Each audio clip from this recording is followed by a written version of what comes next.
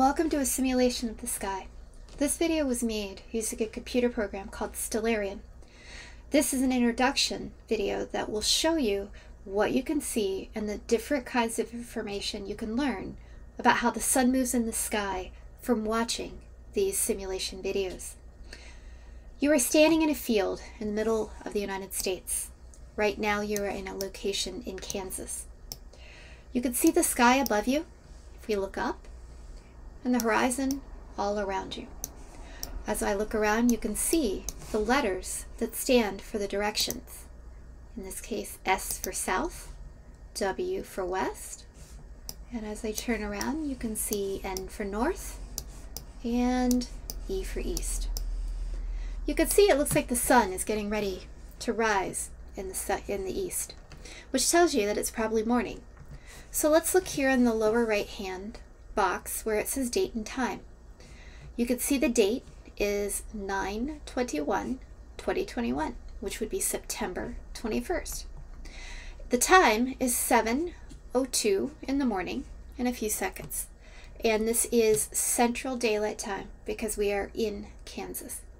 And that does tell you it is morning. So what we can do with the simulation is actually watch what the sun does throughout an entire day but in only a matter of minutes.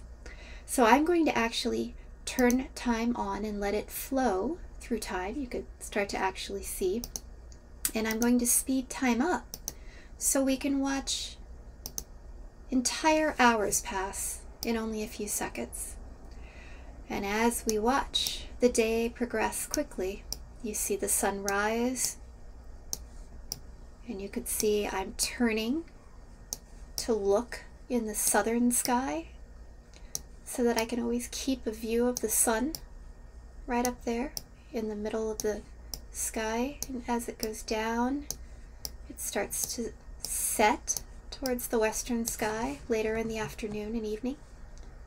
And I'm going to try to actually stop and freeze time when we get to sunset, which is about now. So you can see that the sun is setting and it is in the west and you got to view an entire day in only a matter of seconds. So now we're going to do one more thing and we're going to get a little bit more information about how high the sun travels in the sky. I'm going to turn on a special line that's kind of like a protractor in the sky that allows us to measure like a ruler the height of the sun there is uh, this line here that goes from south all the way above us and around to the northern side. Cuts the sky in half. But it has these measure markings on it. You can see 30, even here we have 20, 10, and if we keep going up it goes 40, 50 degrees, 60 degrees, and right straight above you is always 90, just like a protractor. So here's what we're going to do we're going to watch. Go back to the morning. And watch the sunrise. And then see how high it goes in the sky.